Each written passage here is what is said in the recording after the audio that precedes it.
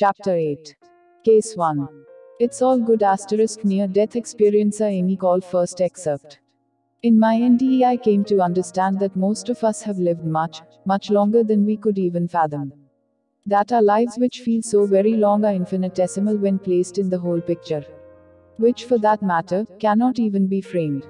I was shown how every single individual, through their own free will, chooses paths that mathematically take them to the circumstances of their next existence or life, that nothing at all sits in accident or chaos, that every single aspect of our lives are ruled by natural laws that we placed ourselves in, that in a sense, we create our own worlds.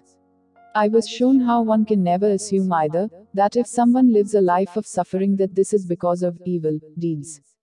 Many may choose a life of suffering because of what it awakens in them. Or to help another, etc. We can never ever assume that we can be accurate in guessing why each being lives the life they live. I cannot describe the relief, the refreshing, peaceful balm this knowledge was for me.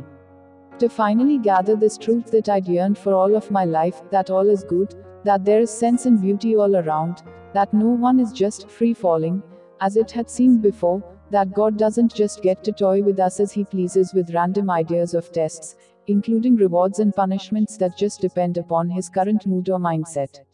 While in this experience, out in the vast expanse of stars and planets, moons, and knowledge, I knew complete trust for what felt like the first time. This was bliss for me. I had lived in fear and distrust and panic for 30 years. My guide stood by at a certain time. And he lovingly stayed as my support while I had a kind of life review. I never felt chastised at all, even though I know I've been very cruel at times and have hurt many people. I've lost my temper in horrible ways and I have had great trouble with forgiveness, and yet, I felt only love and understanding through the entire life review. What it felt like was that I was being given the opportunity and the gift of being able to stand back and more fully understand and love myself.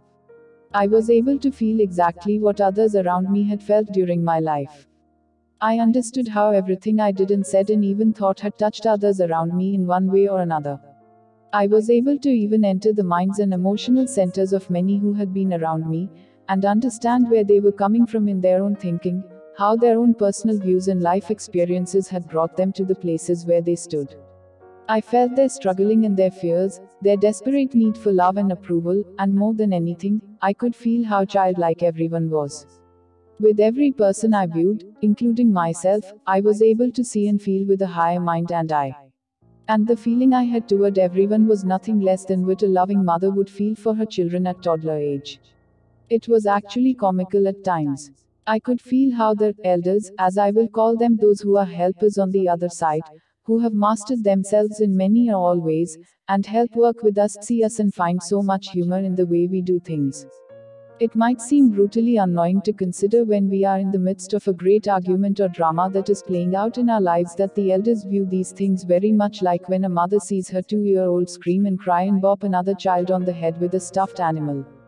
The mother doesn't want her child to fall apart and become hysterical and cry.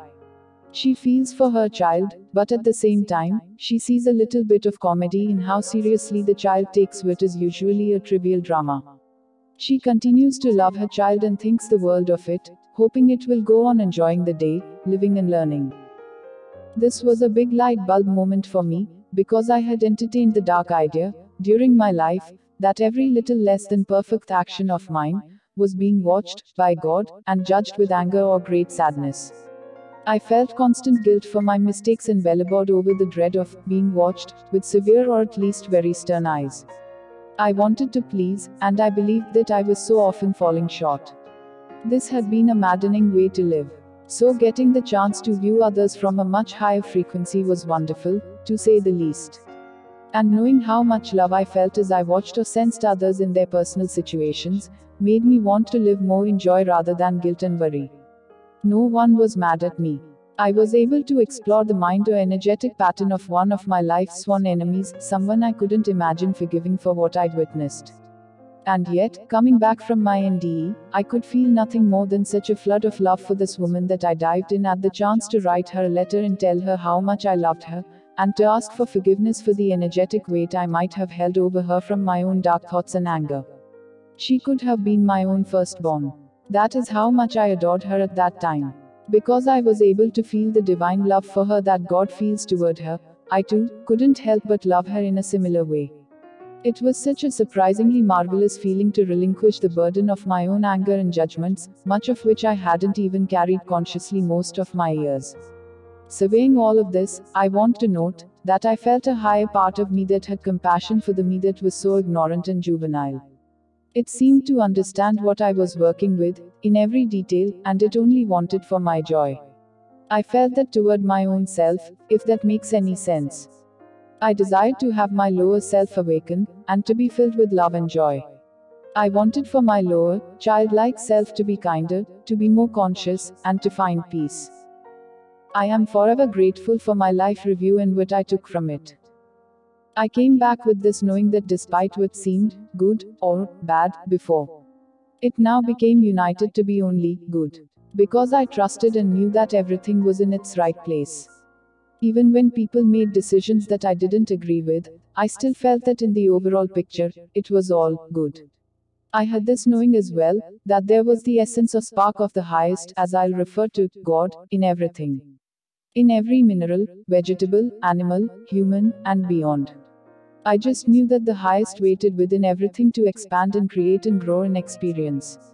I lost all desire to analyze everything in life, as I'd done before through religious examples, by trying to judge every little thing as being either good or bad. I wasn't concerned. We are all just consciousness experiencing life, and learning how to love, create, and develop to the highest we can be. I knew to choose what felt right for me and to trust more. That when something felt unjust or imbalanced, to do what I could to work toward harmony, but to not worry about that which I had no control over.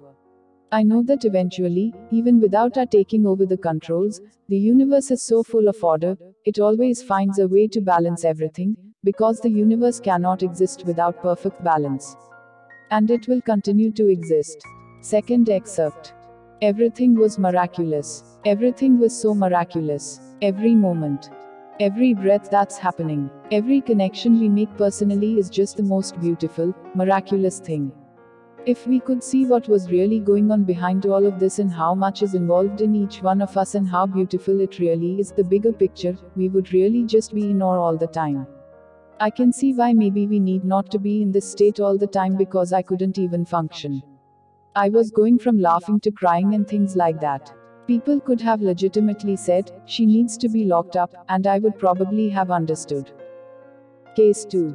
One of God's most astonishing gifts near death experiencer Dr. Marie Neal, MD. Excerpted from Seven Lessons from Heaven How Dying Taught Me to Live a Joy Filled Life During the Review of My Life, Jesus repeatedly allowed me to see both the immediate and distant effects of an event. I was able to appreciate and understand how each event spread through time and space, initiating a cascade of other events from which something of beauty and worth always emerged. One of God's most astonishing gifts is his ability to use time to heal and redeem, to make something beautiful later out of something that appears ugly now. Does God really work all things together for our good? During my life review, as I witnessed beauty emerging from every event, my faith in God's promise shifted from a somewhat vague theological hope into complete trust. I understood that He genuinely does make everything beautiful in His time. Case 3 all experiences are essential IANDS experiencer number 1 I was then led to a room that resembled a conservatory. As soon as I was left alone the walls came to life. 360 degrees of movies, all projected at once. I watched the domino effect of what harsh and unkind words and actions would do to people, how it would start with one person and spiral down to 300 people. I felt the anger and sadness of everyone. I thought I was going to explode. I was emotionally shaken to the core. That was the only semi negative thing that happened to me during my visit there. I was asked to return to the library as I was to start my studies, as in reading the scrolls, it was more like downloading into my consciousness. I read and studied there for 60 years. Most were people's lives from beginning to end. I was allowed to feel the emotions of most people. Some were vibrant, some were sort of boring. A lot that was downloaded was information. This will be hard to explain, but I'll do my best. We here on earth have a role to play. We choose our lives even before we are born, whether we chose a good life or a bad one, it matters not, because there is no good or bad. It's just your chosen role. And all lives lived are essential for our evolution and development. That's why we have memory. We learn and grow because we have different lifestyles, beliefs, opinions, etc. Sorry to say this, but even the most evil, death, destruction, disease, is essential. Think about it if everything was always good and going your way, if all relationships were good and everyone got what they wanted, over the years it would get pretty boring and stagnant. I know it sounds wonderful, but it wouldn't let us grow much, would it? Also, something else that might be hard to comprehend is that there is no such thing as time. Your life is happening all at once, meaning your past, present, future are all one bubble. It's our brain filter that makes this so called time linear.